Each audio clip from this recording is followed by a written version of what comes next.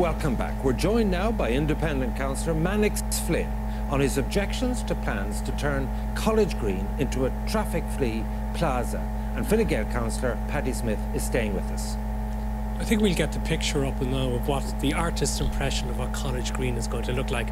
There it is. Doesn't that look absolutely beautiful? Glorious sunny day, children running around, lots of bikes, and none danger of getting knocked down by buses or cars. Who wouldn't want that?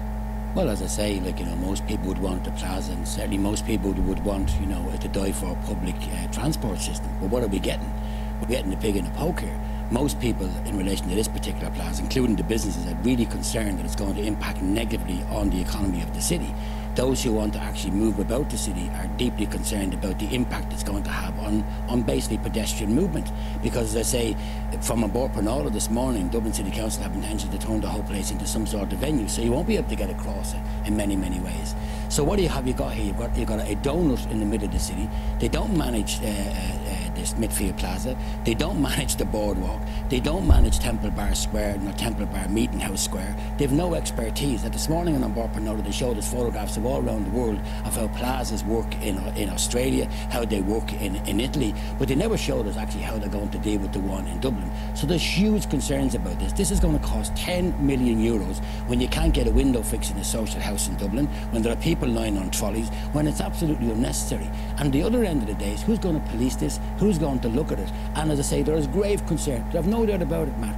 People do want some place where they can relax. They have St. Stephen's Green, open in the daytime, expanded. But this particular place, as I said, is going to be a hive of antisocial behaviour and it's unnecessary. See, Paddy, that's interesting because the antisocial behaviour in all those other locations mentioned by Mannix is a reality. And also, look at the mess we have with relation to the Cross City Luas, which is actually going at less than walking speed as it goes across and all the disruption it's causing. If that can't work properly, how could we trust this? Yeah, I think the, the policing issues, the antisocial issues, you know, it's a defeatist attitude. I mean, these these aren't you know, insurmountable. Have you been down the boardwalk recently? I, I have, and, and, it, and, it, and, it, and it, it is a defeat. We, we, we, can we can police a, a space Not true. in the city. Okay. Now look, the, the fact is, you know, we are we are uh, getting this this civic space back by default. We're, uh, the Luas Cross City that you mentioned before necessitates prohibiting east-west uh, uh, movements of, of traffic uh, uh, in College Green. Okay, so so we're getting the civic space back for the pedestrians because otherwise we don't. The near 400 million euros that we spent on the Luas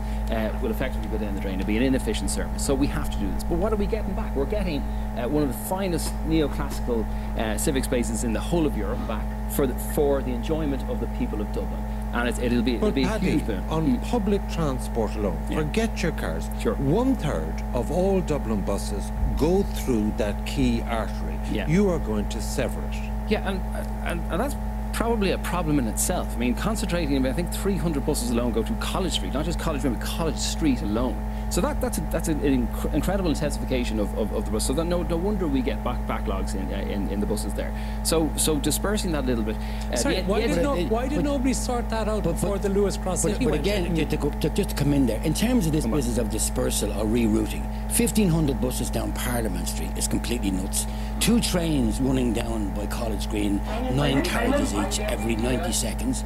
In Dame Street itself, double-decker buses, diesel double-decker buses doing a U-turn. How green is that? And in the meantime, we're all meant to sit in this plaza licking ice creams and enjoying yeah, the sunshine. I mean, Let me just tell you, it doesn't work. And no matter what way you look at it, what's going to happen here is all we're doing is creating a continuity with Dunleary.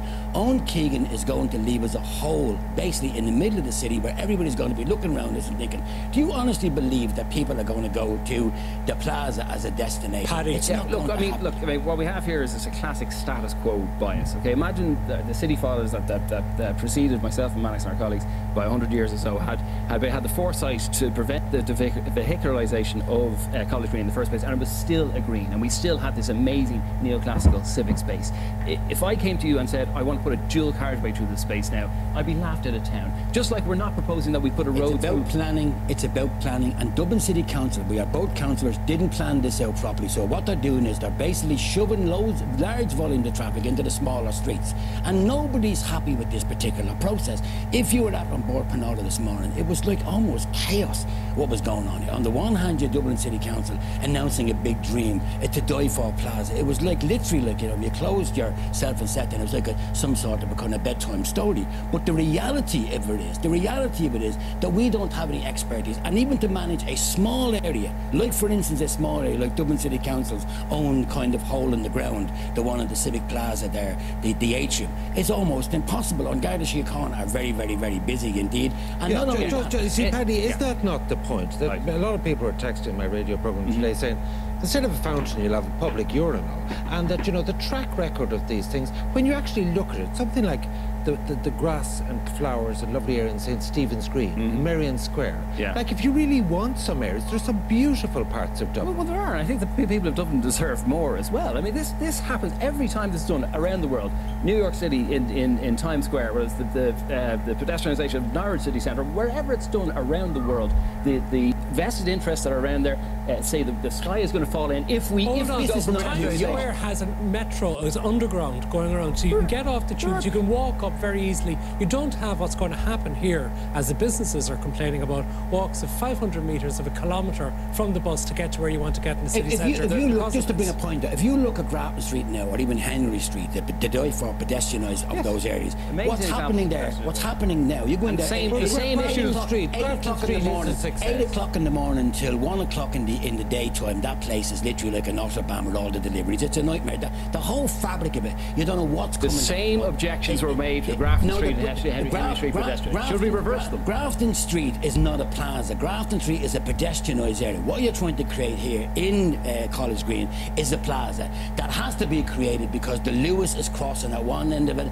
and there's buses doing a U-turn at the other end. In the meantime, outside of those areas, you're, you're, you are creating a poisonous atmosphere with poisonous buses spewing out fumes left, right, and centre, and also the economic, buses are in the city anyway. economic, yeah, but they're diesel. The economic, uh, the economic impact on people who are on the lower scale of economics will be catastrophic. Paddy, the taxes will convince have us. to Paddy, circumnavigate the convince us this is a good idea. It's will not you? a good idea. It's let not him- a good let him idea. try to Okay, convince us. okay. The, the fact is, we, we don't have enough uh, uh, civic space in the city for the pedestrian. We've okay? Okay, we, we have we, we have a, a city that is practically dedicated almost entirely to the We've a- private we've a city that's And- mismanaged. uh, okay, and uh, Just let him have a go. please. Okay, okay, okay. Um, and if we can deliver this, okay, it, it'll it'll open up a, a pedestrian spine from Grafton Street through College Green, Westmoreland Street, uh, and, and, and up into O'Connell Street. Uh, it'll be a huge boon for the city. Is this not a hidden agenda for cyclists? No, I mean, this has been brought up again, that, uh, again by, by, by, some, some- by some of the some of the commentators that there's there's a cycling agenda in Dublin City Council. There's an efficiency agenda in Dublin City Council. We have we have several modes of transport in, in, in, in the city. We've we've feet, we've cycled, we, we have uh, public transport, and we've car and motorway. But the, the former ones are, are orders of magnitude uh, more efficient than the private motor car. So it's just an efficiency agenda. We have a job of, of getting hundreds of thousands of people into the city in the morning and hundreds of thousands of people out. And, and the most efficient way to do that is public transport, cycling, and I'm, I'm gonna make it a catastrophic mess of it. Tonight, the Luas broke down, blocking all the traffic moving down by the quays. In relation Which to proves the, what? in, it proves that it breaks down and they're going to stop the city in its tracks. Here you have a plaza in the middle of the city. Okay, even the cyclists are actually complaining about this particular issue.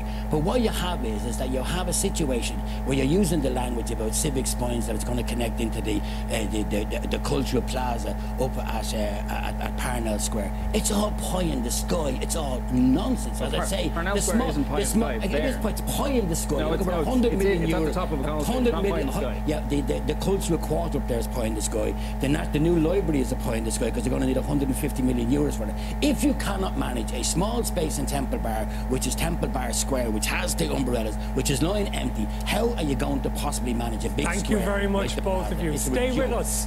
We'll have a first look at tomorrow morning's front pages of the newspapers after the break.